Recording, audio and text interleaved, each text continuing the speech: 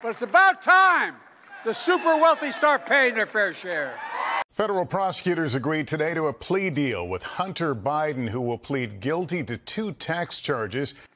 Republicans may not like it, but I'm going to make sure the wealthy pay their fair share. Following a years long investigation, the president's son, Hunter Biden, has reached a plea agreement with the U.S. Attorney's Office in Delaware. Hunter Biden set to plead guilty to two misdemeanor counts of failing to pay his taxes.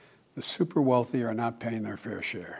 A major development in the investigation of the president's son, that would be Hunter Biden. CBS News has just learned that Hunter has agreed to plead guilty to two charges stemming from a five year federal investigation. The two charges are related to his failure to pay taxes. First of all, my son's done nothing wrong.